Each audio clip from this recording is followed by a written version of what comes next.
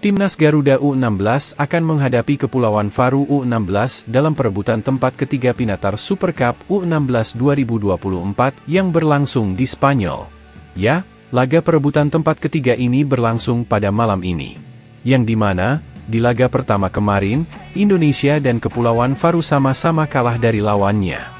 Nova Arianto selaku armada dari timnas U16 ini berharap kepada anak asuhnya untuk tetap semangat dan tetap menampilkan permainan terbaiknya.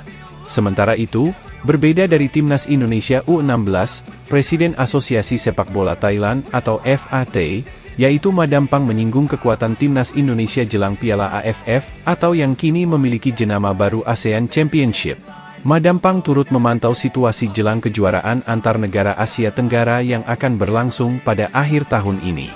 Dalam sebuah konferensi pers, Madampang mendapat pertanyaan soal timnas Indonesia yang kini merupakan satu-satunya wakil Asia Tenggara di kualifikasi Piala Dunia 2026.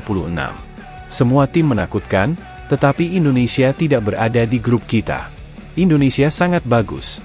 Mereka lolos ke fase ketiga kualifikasi Piala Dunia. Tetapi dalam piala AFF terdahulu, kita tidak pernah kalah dari Indonesia, ujar Madam Pang.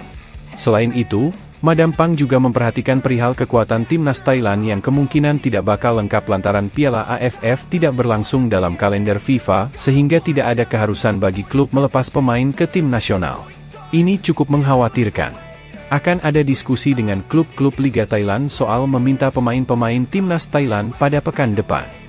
Kalau tidak begitu maka kami tidak akan mendapatkan pemain karena piala AFF ini tidak berada di bawah kalender FIFA, imbuh dia.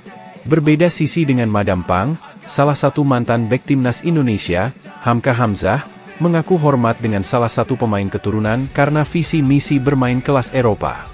Sosok yang dinilai memiliki visi bermain kelas Eropa, sangat berbeda dengan pemain-pemain yang berkarir di liga lokal. Pria yang juga pernah bermain di klub Persipura Jayapura itu secara khusus memuji kualitas Kelvin Verdong, sosok yang dinilai sangat mirip dengan Dani Carvajal di Real Madrid. Hamka terpukau dengan permainan Verdong yang paham cara membaca permainan, ia bahkan mengaku sampai hormat kepada pemain tersebut.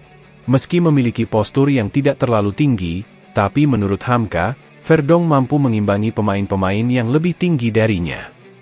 Hormat juga sama Kelvin Verdong Pak, di mana-mana ada dia, saya rasa dia seperti Dani Carvajal. Padahal badannya nggak begitu tinggi ya. Visi misinya pak, baca permainannya bagus. Emang top ya guys cara bermain si Verdong. Dia punya postur tidak terlalu tinggi, tapi dia tidak kewalahan saat duel dengan lawan yang lebih tinggi darinya.